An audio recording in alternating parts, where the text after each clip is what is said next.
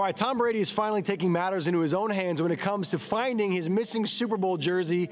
He has just released a suspect board trying to list the possible people, the possible suspects who could have stolen a jersey after he won the Super Bowl a couple weeks ago. Check it out. Here's his official poster board. Now, if you look at the top here, he actually has a picture of his jersey with a reference to the $500,000 value he gave it on a police report with the Houston PD yesterday. You go to the left, you find a guy from Game of Thrones right there, okay? He's the guy who stole the dragon egg. He's a suspect for some reason. You move to the right, you see Gollum from Lord of the Rings. Another guy who likes rings, Julian Edelman. Yeah. You move down, they call him the sneaky little squirrel. I don't know why they call him that. It's weird. Maybe because he's got chipmunk cheeks or something. I don't know. He also dives under tackles and he catches the ball Right, in weird spots and miraculously. Yeah. All right, moving right, you see another picture of Tom Brady. Below that, Michael Scott from The Office. You keep going right. Lady Gaga is a suspect. Don't know why. Hmm. Because she had She escape there. ropes during the halftime what? show. Yes, but she's not a thief that we know of. That's true. Below that, you see Tom Brady has labeled himself a suspect because uh, he took that awful courtroom sketch from the Deflategate hearing. So let's get down to it. Funny or not funny?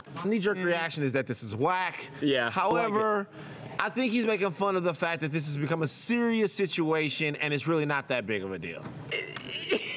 Babcock? It's a big deal because he made it a big deal. The first thing he said to Robert Kraft was, "Somebody stole my jersey. This is all your fault, Tom." Yeah, I thought it was funny. Screw you guys. I liked it. Evan loved it when this I'm came out. saying. Evan, Evan, loved listen, it. I think it's he was so happy. Evan was so deflated because he showed this thing in the whole room. Man kinda- shot it down. If you like what you just saw, videos, great stories, and crazy photos, we've got more like it every single night on TMZ Sports on FS1.